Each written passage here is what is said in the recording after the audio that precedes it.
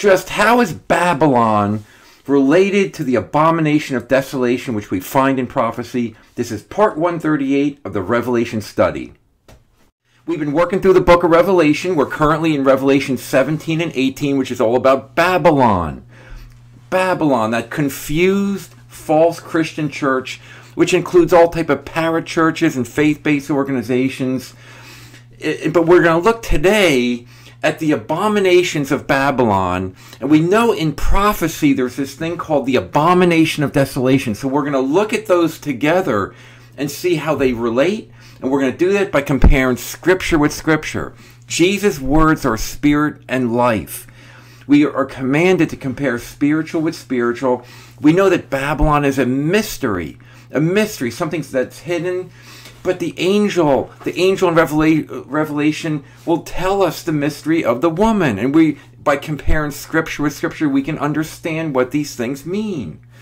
To us, it is given to know the mystery of the kingdom of God, but to them that are outside, it's in parables. The world doesn't care about this, but we want to look at the Bible and understand what these things mean.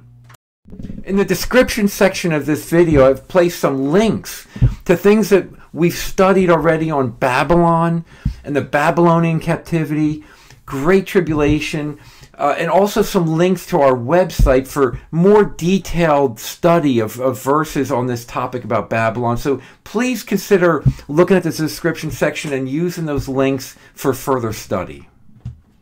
Okay, just a quick review of Babylon. We've seen that Babylon, the same Hebrew word as Babel, was the first kingdom. We recall the Babylonian captivity of Judah in the Old Testament, which was a type of the Great Tribulation. In Revelation 17 and 18, Babylon has always existed. But Revelation 17 and 18 point to that time of the Great Tribulation. And we know that because she's on the scarlet beast that was, is not, yet is. And the is not and yet is refers to the end time. The yet is. That's the period of time that we're just about to enter. The seventh head is the seventh king is to come, which is the Antichrist. It exists just before Judgment Day. It's the context of Revelation 17 to 19.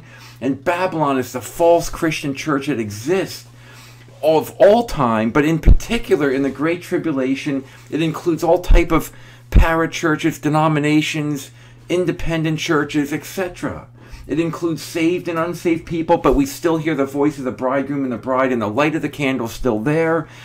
But it, the people there, the Christians there, are captured. Please consider subscribing to this channel. There's a little red button in the bottom right hand corner, and let's move on in this study. Okay, so here are the key verses we need to look at to compare the abomination of desolation. We see in Revelation 17, 4 and 5, that the woman was arrayed in purple and scarlet color, and she had a golden cup in her hand full of abominations and filthiness of her fornication. And we've looked in a previous video that that has to do with spiritual fornication, which is the worship of other gods and idols. That's what the false Christian church permits, and more than that, promotes. And upon her head was the name Mystery Babylon the Great, the mother of harlots and abominations. So we see that word abomination twice in there. It's an abomination. Abomination is something that's hated. We also see, and we looked at this in part 135, that at the end time the ten horns make her desolate. That hour of judgment, the great tribulation on Babylon. It's a time that she becomes desolate. So she has abominations, but it makes desolate. Abomination and desolation, the same Greek root words as used in the very famous prophecy of the Olivet Discourse of Matthew 24, Mark 13, and Luke 21. So we're going to look at that and see what the relationship is between Babylon and the abomination of desolation. Okay, so the key questions is what is an abomination? We'll look at that. And again, how do Babylon's abominations and her being de- become desolate relate to the abomination of desolation of the Great Tribulation? And they do relate very closely. Just to refresh Matthew 24. Here's the passage that, that many people who follow prophecy know. When you therefore shall see the abomination of desolation, the abomination of desolation spoken of by Daniel the prophet stand in the holy place. The holy place is wherever God's people are. It's the church. In the end time, that church is known as Babylon. Then whoso reads, let him understand. let them that in Judea flee to the mountains. Come out of Babylon. For then shall be great, great tribulation, such as what was not since the beginning of the world to this time, nor, no, nor ever shall be. It's a the abomination of desolation is a feature of the great tribulation. What is an abomination in the Bible? An abomination, literally, it means a morally detestable or hated act, which is that which is sin. It occurs about 160 times. About 50 of these occurrences are in Ezekiel, describing the conditions of the Babylonian captivity, the conditions of sin within Jerusalem, and the worshiping of other gods and idols and it, it's it's Babylon captivity is a type of the Great Tribulation. Most occurrences of abomination in the Bible involve the worship and serving of other gods and idol, which of course includes sins of all types. Anything can become an, an other god or an idol, if, whatever is put in front of worshiping and serving God. Everything that's honored above or instead of God is an idol. Okay, so here's some examples of abominations in the Old Testament. We go all the way back all the way back to Deuteronomy. The graven images of their gods shall ye burn with fire, false gods. Ye shall not desire the silver or gold that is on them, nor take it unto thee, lest thou be snared therein. Idolatry is a snare. It takes your time and attention from God. For it is an abomination to the Lord thy God, the worshiping of idols. Deuteronomy 29, you have seen their abominations and their idols, wood and stone, silver and gold, which were among them. It's idolatry. It's putting something before knowing God or worshiping and serving God. Deuteronomy 32. They provoked him to jealousy with strange gods and with abominations provoked they him to anger. Even Israel, Israel was worshiping other gods and idols. So spiritual fornication that we find in Revelation 17 is an abomination because it's worshiping other gods and idols. It's the same thing having a golden cup in her hand full of abominations and a filthiness of her fornication. Spiritual fornication is an abomination. It's something that's hated by God. It's, it's, it's detestable. And we looked at the spiritual fornication in the last video, part 137, and we saw it's worship in other gods and idols. Fornication is also filthy. filthy. It, it's, it's unclean. It's the opposite of being holy we see in 1 Thessalonians 4 7, God has not called us to uncleanness, dirtiness, filthiness, but unto holiness, to be set apart from sin. Okay, so more examples of Israel's spiritual fornication. Israel, of course, Acts 7.38 was the church in the wilderness. And we see in Leviticus 17.7, they, referring to Israel, shall no more offer their sacrifices unto devils or demons after who, whom they have gone a whoring, playing harlotry with, whoredom, spiritual whoredom, with, with demons and idols. Leviticus 20, then I will set my face against that man that goes to commit whoredom with Moloch. Moloch was a god of the Old Testament. It's worshiping something else instead of the true God, the Yahweh of the Old Testament, Jesus Christ. Remember all the commandments of the Lord and do them, and that you seek not after your own heart and your own eyes, after which you go a whoring. To, to seek after your own will, your own heart, your own eyes, the things that you want to do, the things that you see in this world, to love the world instead of God, that's spiritual harlotry. It's whoredom. Psalm 106 Thus were they defiled with their own works, and went a whoring with their own inventions sometimes people think, well, they're doing a good thing. They're coming up with their own ideas, their their own works. But man's works become an idol. It's something that gets in front of worshiping God. Okay, so just to, uh, let's do a review of the abomination of desolation. And on the next slide, I'll tag some of the pieces. We've done a series on that. But we again we see the passage in Matthew 24, which we've already read. When you see the abomination of desolation, for then shall be great tribulation. When that hated thing that causes desolation, that abomination, the worshiping of other gods and idols, that becomes a desolation. And when that's done in the church, it, the church becomes desolate because the church is confused. It becomes confusion or Babylon. And we see this, it refers to what was spoken of by Daniel the prophet. And that's where we see for great clarity that it has to do with the man of sin, the, the final Antichrist. Note Daniel 11. They shall pollute the sanctuary of strength. That's where God's people are. It's the holy place of Matthew 24. They shall take away the daily sacrifice, which is those daily things that Christians are supposed to do, which is worship God, study the word, pray, serve others. And they shall place the abomination that makes desolate. That abomination that makes desolate, which is the worship of other gods and idols. And such as do wickedly against the covenant shall he corrupt by flatteries. This is talked about the king of the north, which is a type of the Antichrist.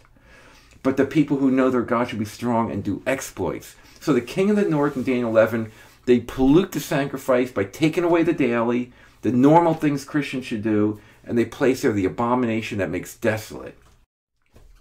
Okay, here are the videos, and I'll, I'll try to tag this slide with some of these videos, but the address is here. The key things on the abomination of desolation is that the daily is removed. The daily points to those things that Christians normally do. The abomination, which is the worship of other God and idols, and that results in the desolation of the holy place or the desolation of where God's people are, which is the church, also known as confused Babylon.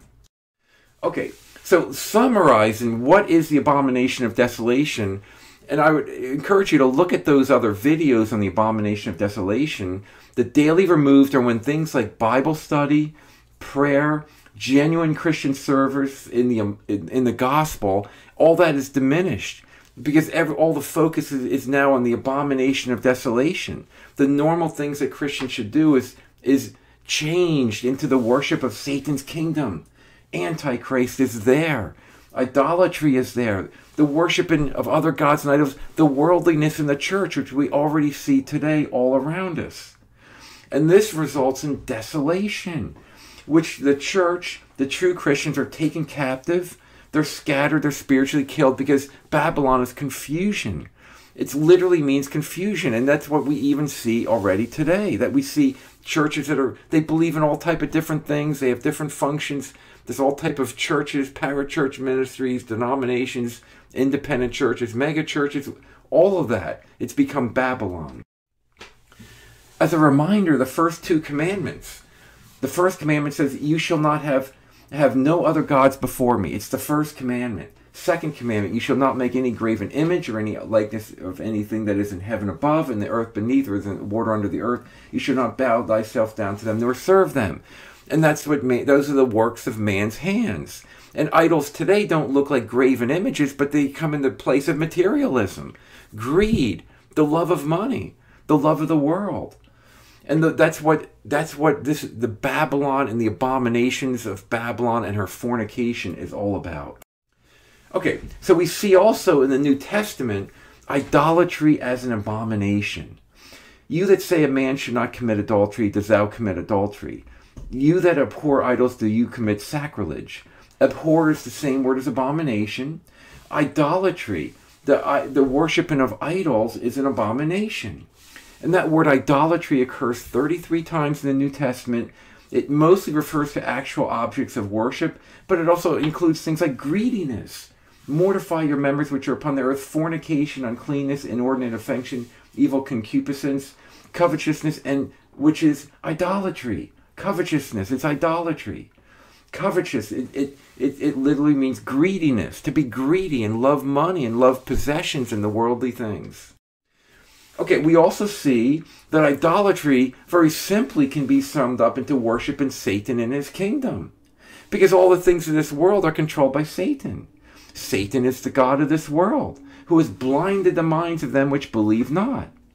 We recall from Matthew 4 when Christ was tempted in the wilderness that the devil uh, uh, took him up into an exceedingly high mountain and showed him all the kingdoms of the world and the glory of them and said, all these things I will give thee. Satan was able to give all the kingdoms of the world to Christ if he would fall down and worship Satan. Of course, he didn't do that, but Satan is in control of the kingdoms of this world. It's very clear in the Bible.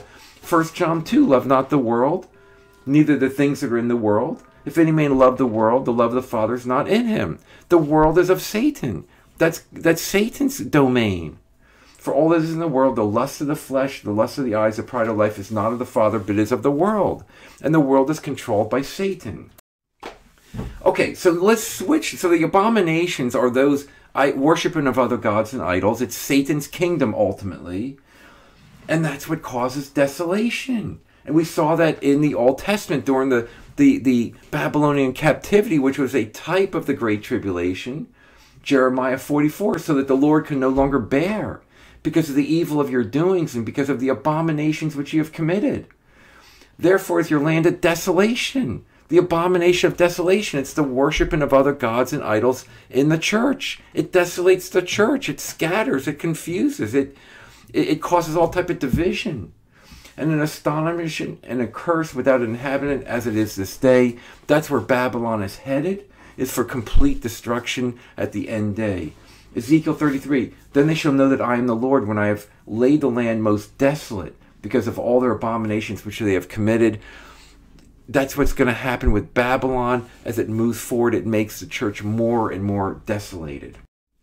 Okay, so now let's let's swing back to Revelation 17, and we we looked at this in part 135 two videos ago. But the ten horns which you saw upon, upon the beast, they shall hate the whore and make her desolate.